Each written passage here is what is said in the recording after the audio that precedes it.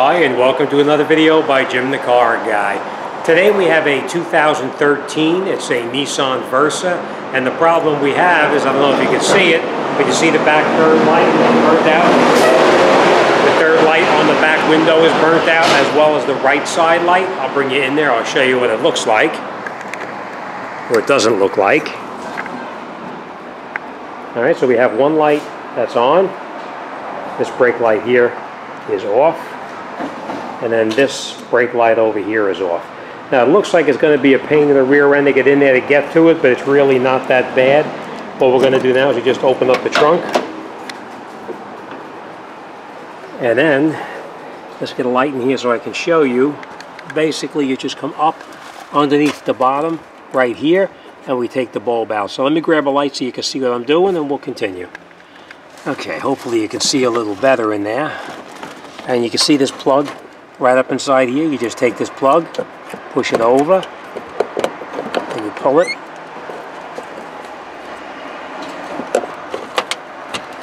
Just like that. And there is your burnt out light bulb. So let's grab a new bulb and we'll, we'll throw it back together. Now, so let's see what number bulb we have here and we'll grab the new one and put it back together. Okay, so now we got the light bulbs. Always make sure you put the correct bulb in. This is a 921, so that's exactly what we're going to use, an exact replacement. Even though another bulb will fit, always make sure you use the correct one. All right, and the way we're going to put it back in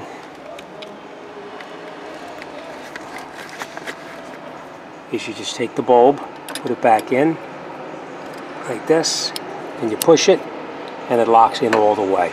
All right, then you take the bulb, and you put it back up through the bottom sometimes a little tight.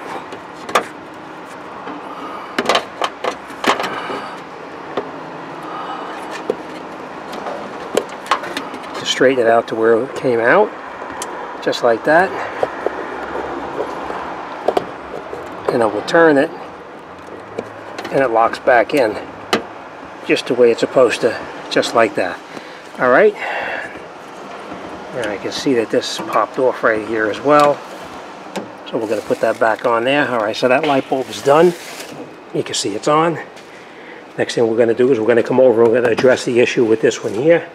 As you can see, it's the upper light bulb. So we're going to come over and we're going to take this lens off right here. So what we're going to do is come in here with a screwdriver. We're going to pop these little clips out right here. I don't think I can do it with my fingers. I'm going to go get a screwdriver and we'll come right back. What you do is you come in here with a screwdriver just like this here, and you pull the center part of the clip up, and you pull out this piece with, without breaking it. We're just going to put this off to the side for now.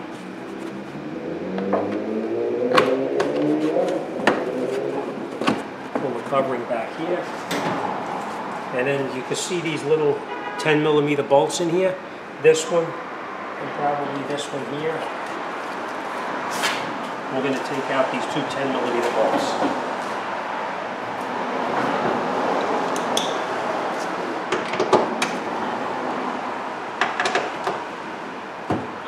Okay, now we'll take both of these uh, uh, bolts, or the 10 millimeters, take them off. Give it a little push before you take them out, and that'll make the light move just a little bit. Don't lose the bolts because you're going to need them. Now this part of it is a little bit of a pain in the, pain in the rear end. you got to be careful with it. This light, I'll show you real quick. This light we need to pry out. We, this part here is now loose. This came out. This part came out and it's loose, but this part you got to be careful with you take a, a, screwdriver, you put it in the top of it right here, and there's a little plastic clip right there. You need to pry the light out very gently. Very gently, because if you pry it too hard, you're going to chip off this piece of the plastic here, and you'll be replacing the lens. And I'm going to take the lens out like this. We're going to unplug I don't know if you can see what I'm doing. I'm going to turn this so you can see. Right in the back right here, that plug We're gonna unplug that plug. You know what? Let's leave it plugged in. I'm gonna grab a screwdriver. I'm gonna grab a screwdriver and we'll, uh, we'll do it right here on the car. Okay, now what we're gonna do is we're gonna take these screws out right here so we can remove this light assembly here. But you probably wanna do this on a workbench so you don't drop it and break it. We're gonna take these screws out and don't lose them. We're gonna need to reuse them over again.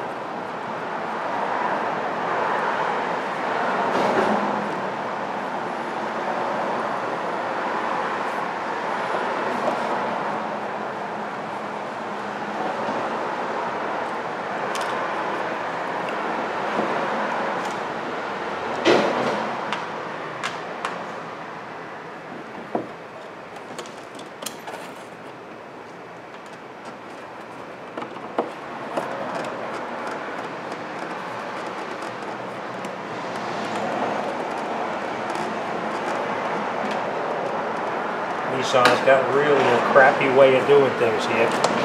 And then we just take this out. And we're going to put this down on the floor for now. As you can see, that light did come on. I'm going to just turn the key off for one second again.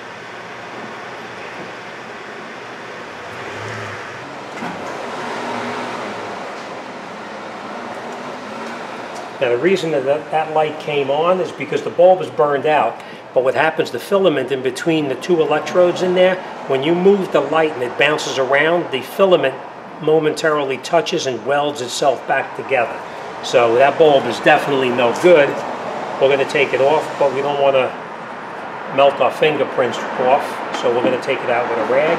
Okay, let me grab a new light bulb and we'll put it back together. Okay, now we got our replacement light bulb. There's only one way that this bulb goes in. You can see that one of the, uh, the lock pins is high and one lock pin is low. So when you put it in, you have to make sure you put it in correctly. And you can try to turn it. And if it doesn't turn easily, like you push in and turn, if you try to push in and turn and it doesn't turn, turn it around, push it in, turn it on. And now we're going to go inside and we're going to test it to make sure it works. Okay, as you can see, the light bulb does work. All right, so now we're going to take our, our um, lens, we're going to put it back in the way it was. Now you could turn the key back off or, or release the brake pedal if you wanted to, but I'm just going to do it like this for now. You're just screwing it to plastic, so you want to be very careful you don't break anything.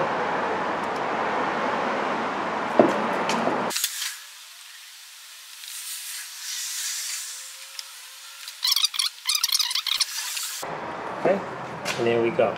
All right, let me just go in the, in the car for one second, and we'll come right back here and disconnect that. Now that we, uh, we're ready to put the light back in, this little pin right here, you'll notice that it's, it's made of plastic and it's going into a plastic piece right here as well. So what we're going to do is we're going to put a little bit of, um, of lubricant on there. You can use Never-Seez, you can use whatever you have, just a little bit. It'll make it a lot easier going in this time and coming out in the future. So first thing we do is we line up this piece with this over here. And then we'll go inside the vehicle and we'll get the other pieces through here. They're both through and I'll push it and you feel the snap in. And then what we're going to do is we're going to come back in over here. And we're going to screw on the that light, right? We'll screw the 10 millimeters back on that we previously took off. Again, you're just screwing into plastic, so you want to be very careful because these, the other end of this is just in the plastic light itself. So you screw it in so it's snug. And then we take our cover, put it back over, make sure it goes back in where it belongs. Then get this light out of the way. We're just going to put it under the rubber where it belongs right here.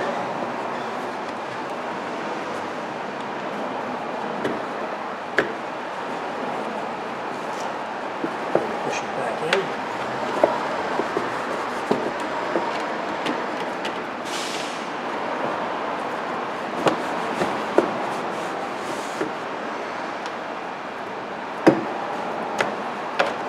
that. And then we're going to take our push pin. We push the, we keep this pull out, and then we push this in, and then we push that piece back in. That's it. Then we put our molding, our, our weather stripping back on, just like that.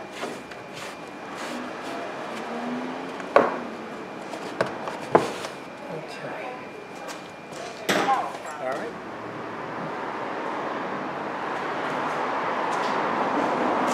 Okay, as you can see, we have the left, center, and the right side. Okay, so that's it. All right, after you put the light bulbs in, you always want to check everything to make sure it works. Check your brake lights, check your directionals, and most important, check your parking lights as well, just to make sure everything is okay. As you can see, everything works perfectly here, no problem. Everything is, uh, is absolutely perfect. And uh, that's it. All right, the main thing is with this particular job is that with that one little clip on the end there, when you put the screwdriver in, wrap your screwdriver with a, with a, a rag, paper, anything so that you don't chip off the light. Because I've seen already where people get in there with a screwdriver and they chip off a piece of the light, and now water gets in the light and the lens is no good. So take the extra time, put the, uh, the rag around it so you don't chip it, you'll be good to go. Uh, a little bit of grease on there, anti-seize, any kind of lubricant on there whatsoever, it'll make it easier coming off the next time. And you know there will be a next time. All right, as always, thanks for watching. See you on the next one.